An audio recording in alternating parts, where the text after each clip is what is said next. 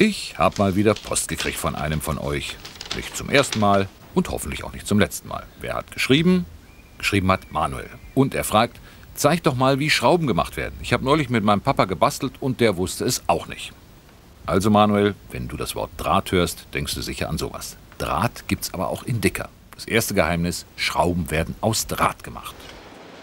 Normalerweise ist er auf solchen dicken Rollen und wird dann abgewickelt.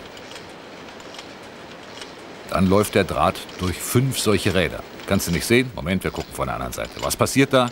Der Draht wird gerade gemacht.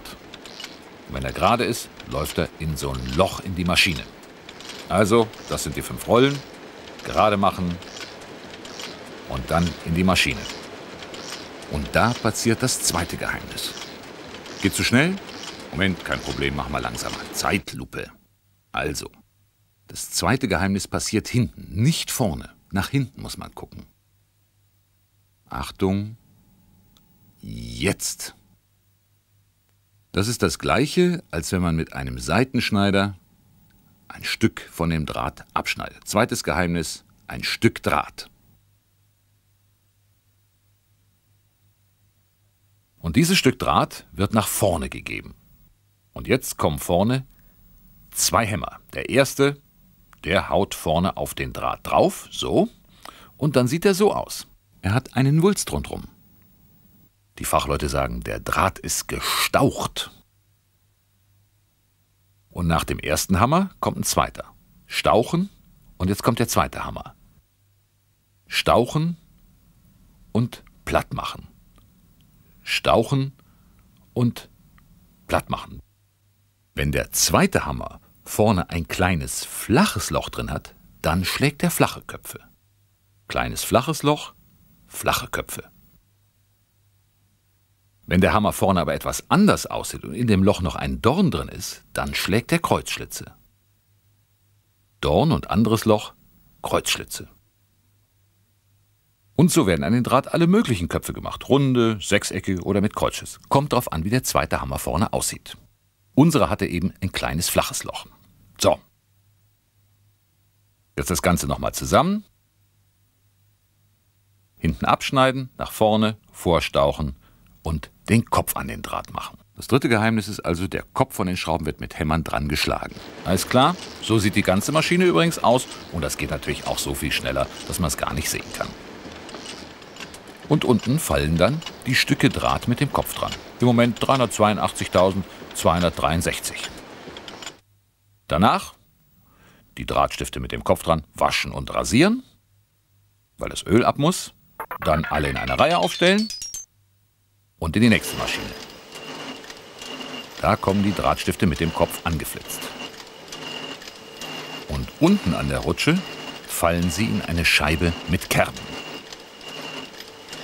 Mehr sieht man nicht.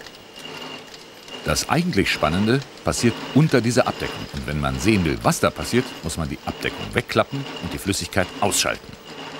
Unter dieser Abdeckung ist ein Sägeblatt. Das dreht sich und die Scheibe mit den Kerben nimmt die Drahtstifte und legt sie unter das Sägeblatt. Das sägt die Schlitze in die normalen Schrauben rein. Das ist das vierte Geheimnis. Und damit das Sägeblatt nicht zu warm wird, ist diese Schmierflüssigkeit da.